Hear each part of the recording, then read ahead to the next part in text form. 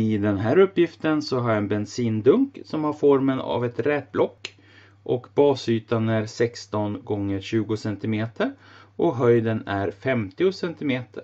Och jag ska beräkna hur många liter den här dunken rymmer.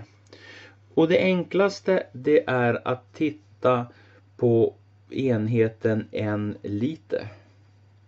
Och en liter det är detsamma som en kubikdecimeter. Så när jag ska räkna ut den här volymen så tar jag och omvandlar enheten från centimeter till decimeter på var och en av de här tre längderna. Så när jag tar och beräknar den här volymen så kommer jag att få enheten kubikdecimeter direkt i svaret. Så 16 centimeter, det är detsamma som 1,6 decimeter. Och 2, 20 cm är detsamma som 2,0 decimeter. Och 50 cm är 5,0 decimeter. Så det här är då dimensionen på den här dunken i enheten decimeter.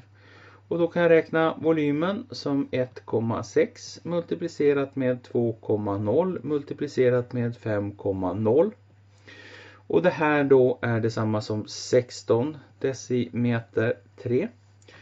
Och eftersom en kubikdecimeter är detsamma som en liter så är 16 kubikdecimeter detsamma som 16 liter.